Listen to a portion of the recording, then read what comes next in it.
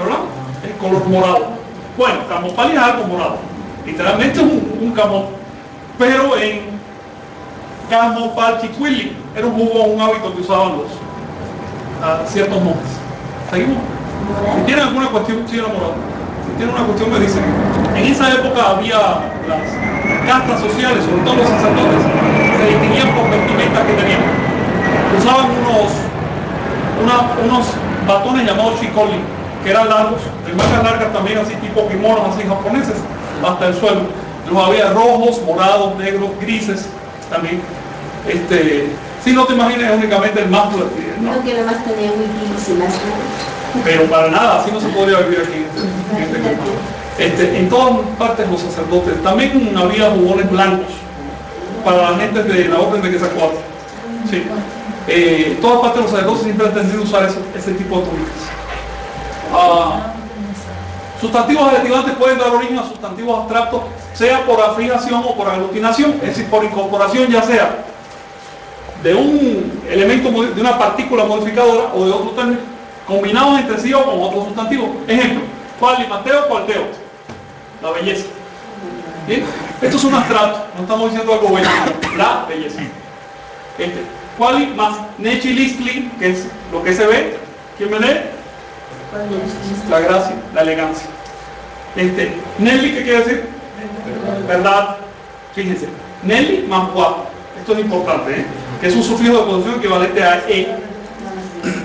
Del guayo, fundamento o raíz también, pero eh, raíz ya es un sustantivo concreto, pero tiene el mismo nombre que un sustantivo abstracto, fundamento. O también la verdad, en sentido general. Este, ah, Fíjense que aquellos sustantivos que no derivan de la nominalización de una cualidad pueden calificar a su aglutinado en cierto contexto de manera incidental, no por regla. Por ejemplo, el término teotlatoli. Teotlatoli es lo mismo que decir, este, ¿cómo se llama el libro sagrado de nuevo? Se llamaba, ese era un elemento, se llamaba teomostos. teomostos. Es lo mismo, teotlatoli, teomostos.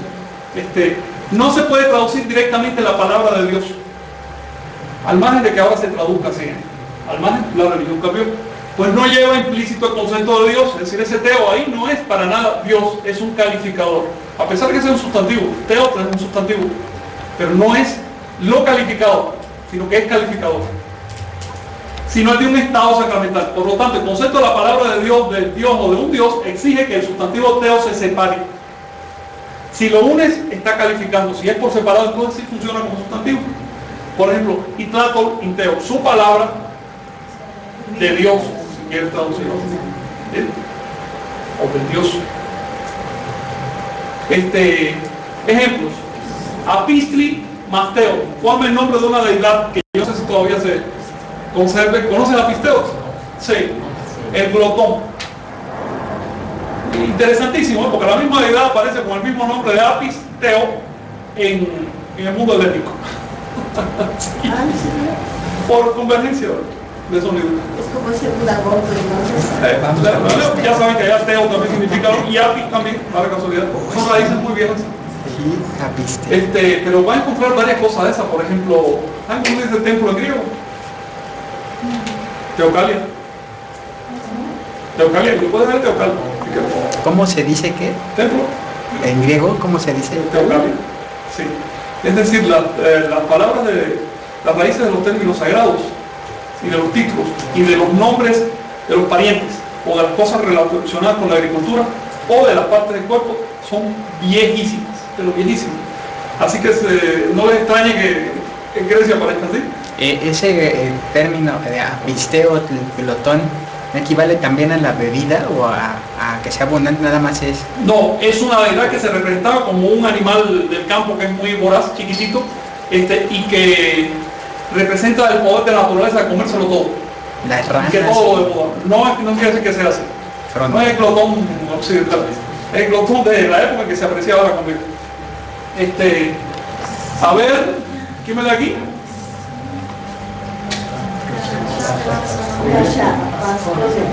Pascones, se lo puse como ejemplo de que el término cone, niño, en ciertas circunstancias puede convertirse en calificador de tamaño, incluso para un plato. Casa incluso es granos. ¿Ya? sería el cash. Cash. Cash. ¿De dónde vendrá? Eh? A ver algo más sobre ese cereal, una palabra derivada. Es que son todos los granos. Este, A ver, ¿qué grano es? Cash. Es granito amarillo chiquito, Mismo. mijo y grechka. es- Greshka. Tú lo conoces, ¿no? ¿No? Es un granito café, Bueno, de nombre. redondito. Sí. Órale. Entonces se cacha y la avena también se cacha. ¿Qué, qué decir entonces cereal en general? Sí. ¿Y cómo dice trigo? ¿No te acuerdas? Este, ¿Algún otro nombre? Cebada, centeno, sémola. Semilla, ¿cómo se dice? Apshenó era mijo. Mismo, abshenó. Apshenó. Abshenó solo. Apshenó. Están viendo la misma raíz Shen, que aparece en todas partes. Esa es otra más bien. Aparece aquí como Sen en Nahuatl.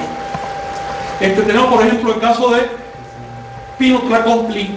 Un Tlacotli es un esclavo, Pino es extranjero. Bien, en ese caso, esta palabra califica a esta, pero por simple asociación. O tenemos el caso de Quetzalcóatl. Bueno, Quetzalcóatl, ¿cuál es la traducción correcta etimológicamente hablando? Sin duda el primer componente es Quetzal, y Quetzal es un pájaro, que hoy llamamos Quetzal. Pero sería incorrecto traducir serpiente Quetzal, porque el hecho de que Quetzal esté delante está calificando lo que viene. Entonces el pájaro se transforma en su pluma, y la pluma se transforma en la condición de precioso. ¿eh? Hay una cadena de transformaciones, pero no podemos ignorarla. Primero se transforma en su pluma, así que la primera acepción es evidente. ¿Cómo se representa esa deidad? ¿Con qué imagen? ¿Cuál es su jeroglífico? Deidad, la, la deidad que sacó, ¿cuál es su jeroglífico en la iconografía? Cuando van al museo, ¿cómo ven a que sacó? ¿Qué forma tiene? Una serpiente emplumada. Significa serpiente emplumada, en primera acepción. Así de simple. ¿Ves? Te lo dice la iconografía. Esto viene a tenor de quien niega que signifique serpiente emplumada. Si no significara serpiente emplumada, no se representaría como una serpiente emplumada. En segunda acepción, que sal se transforma en sentido, en sinónimo de preciosidad. Pero hay un detalle con el náhuatl. Las palabras compuestas de otras dos palabras con sentidos opuestos o polares, porque forman una tensión, como por ejemplo quetzal, Polaridad. se modifican si tú modificas una de ellas. Así que si traduces quetzal ya no como el pájaro o lo que sube, sino como preciosidad, también tienes que traducir coatl ya no como serpiente, sino como gemelo en este caso. Gemelo precioso. En fin, estas palabras que tienen una tensión adentro, que son muy abundantes en el lenguaje teológico. ¿eh? ¿Quién me pone otro ejemplo? Una palabra formada por otras dos que tienen sentidos opuestos o dialécticos o polares. Hay varias. Bueno, lo vimos hace un momento en Trazoteo. La basura y la deidad. Y eso hay que acentuarlo, porque de hecho el significado no es uno ni otro. Es, esa polaridad es lo que querían decir. Teocuitlat, que significa teo, divino, cuitlat, incremento. Para uno como occidental esto puede parecer violento, pero hay que ponerse en el pellejo. No tratar de retraducir a la occidental lo que trataron de decir. Cuando traduce, por ejemplo, Trasuteo como amor divino, está perdiendo la, la- gracia. Hombre, mucho más fuerte decir divina basura, divina porquería. Estás hablando de una cosa mucho más poderosa. Este, bueno, Nessa Barcoyo, a ver, por un nombre conocido. ¿Quién me lo traduce literalmente? Coyote ayunador. De Isagua, ayunar. ¿Ne qué quiere decir ahí? Indefinido, no sé. Ne es un, ¿qué cosa? Es un pronombre indefinido. Ne- hay tres pronombres indefinidos. Son te, para referirse a qué? Personas, Personas. Tra para referirse a cosas. Para a relaciones entre sí o a cosas que se sostienen por extensión. Cuando se dice en esa agua significa que hay una una y otra vez, que hay una permanentemente, por lo tanto es un hambriento. Coyote hambriento podría ser una traducción. Este, le puse yo al cual por lo siguiente, los textos aclaran, por ejemplo, un poco Bulo dice con claridad y otros textos, digamos el canto de Tima, que no se llamaba solo que sacó, sino que sacó a Yohualcoatl. Por lo tanto, el Yohualcoatl es, es otro concepto polar. Yohuali en la noche. ¿eh? Que sacó a Yohualcoatl no es una traducción mecánica, ¿eh? pero podríamos decir que es algo así como que sacó de Tecatripoca. Digamos que, que sacó de la parte visible de Tecatripoca. Pues esa parte visible es polar. Vamos a decir, la materia es la parte visible de la energía. La materia es polar. Así que a su vez tiene una parte positiva y una negativa. Y si te vas al pedacito, otra vez vuelve a ser polar. Y eso se representaba con asociaciones polares dobles, como que sacó a Yoguarcoa.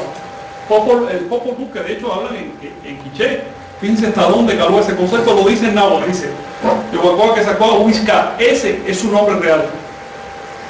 Es decir, hay una doble polaridad allá adentro. ¿Eh? Eh, no, todavía no Bolonyo. Digamos que Bolonyo se usa en otra. Mira, todas las deidades se puede convertir una en otras. Es absurdo pensar que son personas en el espacio. Tú no puedes convertir a Cristo en Satán, o a Satán en Jehová, o a Jehová en el arcángel fulanito, porque los cristianos creen en dioses personales. Pero los prehispánicos no creían en dioses personales, así de sencillo. Sus deidades se van mezclando unas con otras. Recientemente leí una tesis muy buena.